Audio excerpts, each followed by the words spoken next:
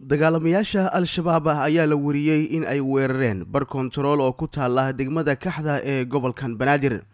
Iska horimaad daqiiqado badan socday ayaa waxa uu dhex maray dagaalamayaasha al-shabaab iyo booliska soomaaliya. Marka hore ayaa waxaa la wariyey in qoriga loo yaqaano sabanka ay al-shabaab ku soo garaaceen kontaroolka ciidamada. Intaa kadibna uu bilowday dagaalka labada dhinac. Xubnaha al-shabaab ah ayaa weeraray difaaca koowaad ee degmooyinka galbeed goob ay degan yihiin ciidamo isku dhafa sida nisa iyo boliisiya militare. Dagaal toosa ayaa dhex maray dhinacyada. Al-shabaab gudaha uma aysan gelin goobta ay degan yihiin ciidamada oo ka tirsan degmada kaxda ee gobolka banaadir balse wixii hub iyo qaraxyo ay wadeen ayay ku garaaceen dalcadda qoobe iyo goobo kale oo ay ciidamadu degan yihiin. Xerada ay hubka ku garaaceen al-shabaab ciidamada kuma aysan jirin badankood taasi oo keentay in si dhaqsi ah ay ciidamada isku gacansiiyaan ayna isaga caabiyaan weerarka. Waxaa al-shabaabkii weerarka soo qaaday ay dib kaga laabteen goobta. Markii fariisinka ay weerarayeen waxaa ku sugnaa ilaa toddoba askari halka ciidamada kale ay ku faafsanaayeen dhulka juqda ah.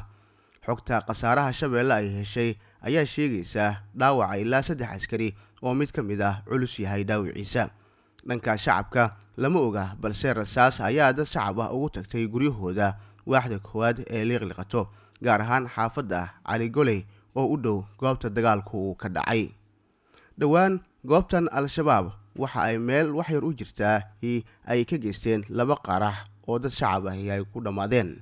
Degmada kaxda oo meel geesa kaga taala gobolka banaadir waxa ay deris la tahay shabeellada hoose oo ururka al-shabaab meelo badan ay ka joogaan taasi oo kooxda u sahli karta in ay si fudud ku soo weeraraan degmadan kaxda.